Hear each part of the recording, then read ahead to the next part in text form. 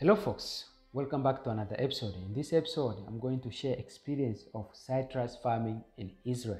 Before start, I would like to appreciate everyone for subscribing in this channel. Subscribing to this channel make a huge difference. This channel works to educate and enlightening young farmer, smallholder farmer, agri-lover, agripreneur on the modern agriculture technology. In this episode, I'm going to discuss with you most common mistake to avoid in citrus production. Number one mistake that farmers does, they just buy their seedling anywhere.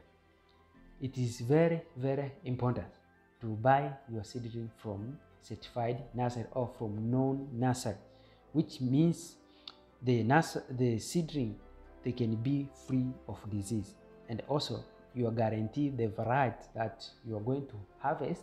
It is the same variety that is indicated. If you buy the seedling from a known nursery. This problem you will find it after two years. After that two years, you already spent fertilizer, irrigation, so a lot of resource.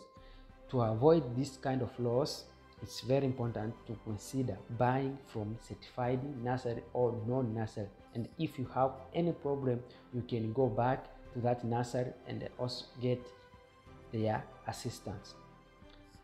Number two, most mistake this farmer does, the farmer they only apply the pesticide when they spot insect or disease. So it is a device to have preventive pesticide or spray before seeing insect or, uh, or disease. If you have that kind of program, you are sure that you're going to get high yield. If you wait the, to spot insect or disease, it might be late you know disease and insects weaken the plant. And if it weakens the plant your the plant can be weak. And if the plant is weak also the yield can be less. If you want to get high yield it's also very very important to consider applying or making a program for preventive pesticide application. Also in watering or irrigation the most common mistake happened. this plant it need plenty of water. And most of farmer what they does they apply water frequently. So the irrigation is frequently. And by doing so they encounter problem of nutrient deficiency. So if you don't want to have this problem of nutrient deficiency so you must schedule or prepare design well your irrigation schedule but if you want to do so, first you need to install the tensiometer in the soil or instrument that can help you to know the moisture content of your soil because when you're applying the water, you don't just apply on top of the soil because most of roots they're inside. So you're applying in the root zone. On top it can be it can, it can seem it's dry, but inside it's still wet.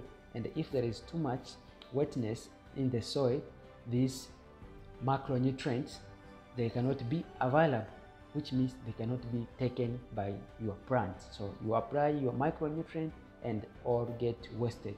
So to avoid this problem you must schedule your irrigation. For instance most of the irrigation in citrus production they can be done once or twice in a week. It depends the soil if you have a, a, schedule or program to water your an orchard maybe once a week and in that program you run the drip irrigation or any kind of source of irrigation that you are using to apply. If you apply maybe for duration maybe of two hours if you you you apply for two hours you you you need to change for to up to four hours. If you apply for you extend your duration. This help to keep moisture for very long period of time. And because the moisture can stay there in the root zone for long period of time and also it can help this uh, nutrient to be uptaken with the plant. If you schedule well you are sure that you will not have this kind of problem. When it comes to fertilization fertilization is very very important. Most of farmer they always apply fertilizer and especially this micronutrient magnesium iron so and zinc. So this no problem but they always forget to apply this macronutrient which is npk because it is reproductive stage. So why they apply nitrogen?